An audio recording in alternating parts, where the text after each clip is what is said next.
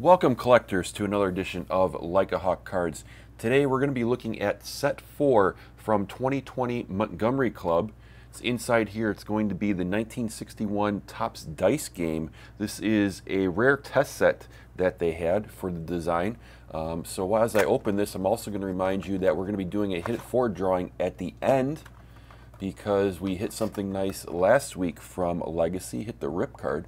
So we're going to have to do that. Also, before I begin, too, we hit, we were able to also get this pin. So this year, Topps was giving out this pin along with the five sets. It's got the nice 2020 member right there. It's kind of so. Thank you, Topps, for throwing that in. You didn't have to do that. Nice welcome surprise kind of put that as a lapel pin if you wanted to. So this is a 20 card set. This particular set is not going to have the auto in it. Like the others, you only get uh, a couple of those autos per year. I think this is the, there's only going to be one more set after this. So let's see what we got here. So this is the design of it. Again, this is the 1961 Topps Dice game. This is Aaron Judge. These cards are black and white. And then here's the back of that. All right, so there's Aaron Judge. We have Clayton Kershaw, Bryce Harper, Nolan Ryan. That, that picture looks familiar. Jesus Luzardo. Don't mess with the, with the Jesus. Miguel Cabrera.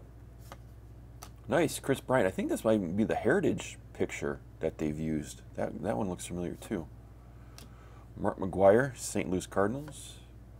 Nick Solak, Texas Rangers. Nice to see some fresh faces in here. Got Manny Machado. Johnny Bench. Zach Gallen, the Diamondbacks. Joe Mauer, nice, from the Twins. Haven't seen him in here before. We got Rafael Devers, the Red Sox. Nice Albert Pujols. Edgar Martinez. Jose Altuve, again, this one looks familiar too, like this is from Heritage. George Brett. Anthony Kay. And then last but not least, we have the captain, Derek Jeter. So not bad. Um, kind of basic. It's still it's still kind of this uh, 87 Topps um, stock to them, but overall, I don't know. It was it's okay. It's not bad. It's it's nice to try a black and white set.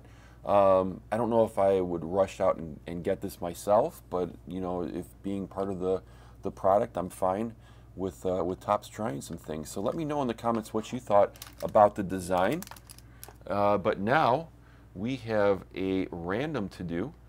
And we have a bunch of people. I just want to say thank you if you're on this list because the question was what set would you miniaturize? Let me just do a random again. We're always random eight times on the channel. So there's the first one. So we have 24 people in the random. There you go. So a lot of people, um, there were some, there, a lot of great, a lot of great suggestions on what set you would miniaturize. Uh, a couple people even had retro sets, like their favorite set back in the day that they used to collect. Um, I know there was some there was some chrome that was in there.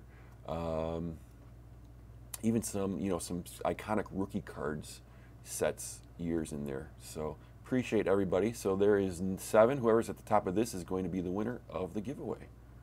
So you have S.A. Hudaville pretty sure you're going to respond because uh, you've you've I don't know if you won something recently, but you have one in the past. So essay, go ahead and um, send me an email at likeahawkcards at gmail.com and we will get you your prize. You can pick from the Hit It Forward list. So thank you all for everybody checking out this video today. Like, subscribe, tell me about your hits in the comments. Always love to hear about them. There'll be a just, a, just the hits video coming up soon. Of course, your social media, Instagram at Like a Hawk Cards, all one word. Hope you have a lot of luck in your next break, and thanks for watching Like a Hawk.